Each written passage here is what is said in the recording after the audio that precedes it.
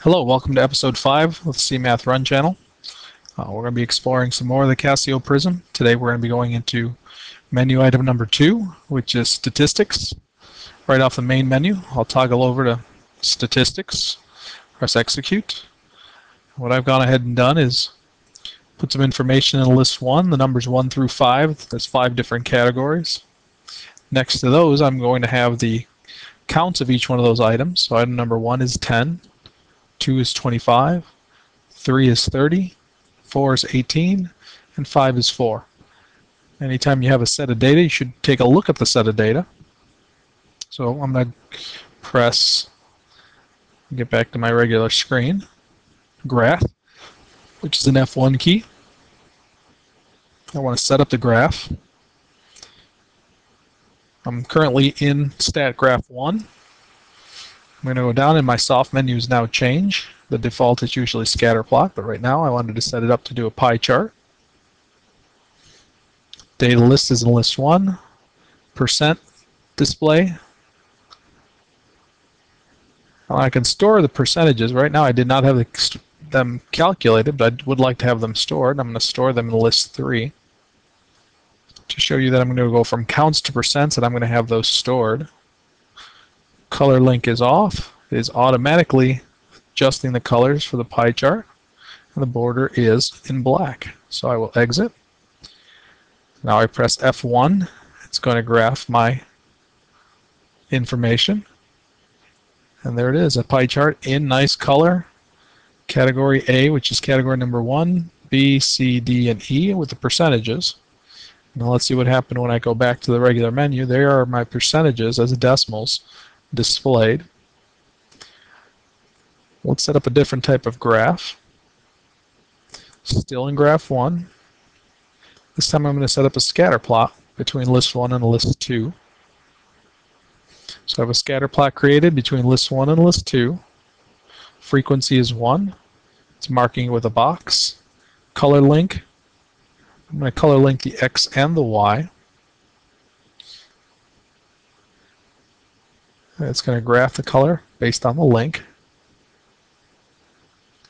I will exit and I will regraph it. So there's my information as a scatter plot. I go into my format. Right now all the dots are colored black. I'm going to go down to auto, which is number 9. What I did to get into that menu is shift F number 5, which is format. Now when I did that, you notice the colors have changed on each individual point. So as we had seen earlier, I could calculate a regression equation. Here's another quadratic equation. I can copy that information into my list number one, and I could draw it. And if you're studying statistics, I could also look at the residual plot. If I would like to set up a residual, I went into Shift menu or Setup. The stat window is automatically set. Currently the residuals are not being saved, but I will go ahead and save the residuals. I'm going to save those to list number 4 since I know my percentages are in list number 3. All the other information, just some basic information on what is happening, what's going on. There is no background color turned on. Type of line that I'm going to get. I'm in degree mode. I'm also in complex mode. Coordinates in the grids. So all your information about your graphs. That very last menu, I didn't want to skip over that one, but Q1 and Q3 set it standard. So let me get out of there. Let me go ahead and graph. There it is again. I did calculate the x squared regression for quadratic. Just to refresh your memory, that's where it's at. I'll draw it. Now I would like to see the residuals. So I'm going to exit out of here. I'm going to select. I want to graph two graphs at once. I'm going to turn on the second graph, exit out of there. I'm going to set up graph 2. So I go into the set. This time I want to set graph 2. Graph 2 is going to be a scatter plot. It's my residuals. Now my residuals are in list number 4, so the Y list I will set to list number 4. Everything else, color link, I will turn the color link on, X and Y. And then exit. Uh, make sure I have selected that both of those graphs will be graphed. It'll draw. Now you notice there is my residual plot right along with my original plot.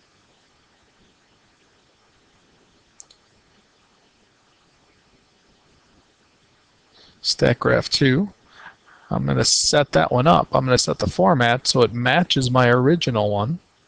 Again, I want to do auto because I want my residuals to match with my original data.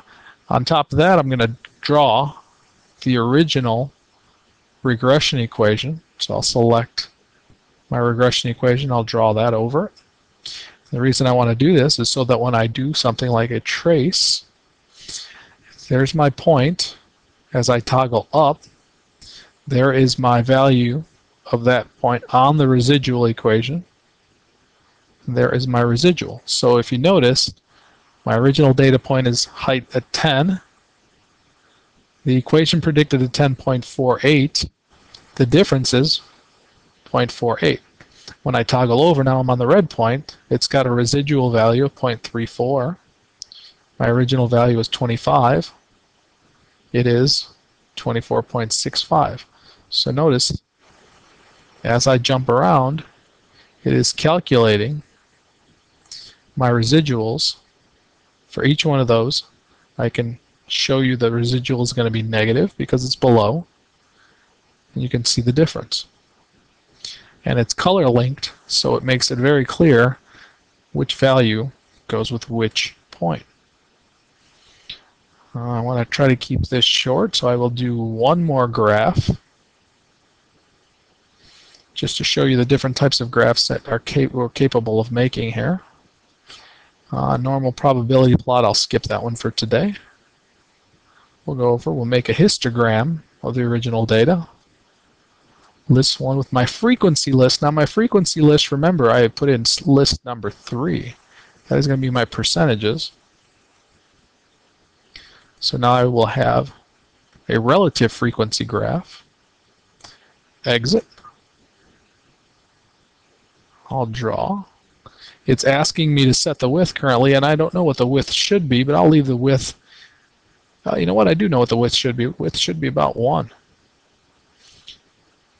So then let's draw it with an execute and see what we get. And there we have it. Currently I'm all gray because of the setup.